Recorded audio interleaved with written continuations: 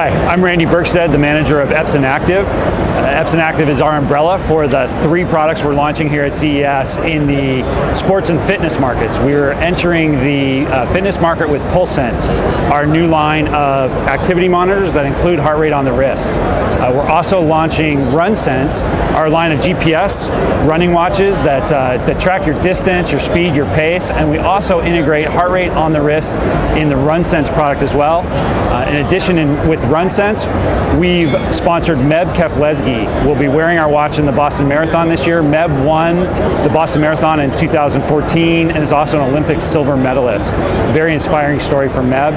And the third product that we're launching here at CES is the M Tracer. And M Tracer is a golf swing analyzer mounted to the grip of a golf club. It measures the golf swing in 3D, transmits the data to your app so that you can analyze your swing and improve. And we've uh, teamed up with David Leadbetter to provide instruction uh, and more advice around the, the analysis that we provide from the M Tracer.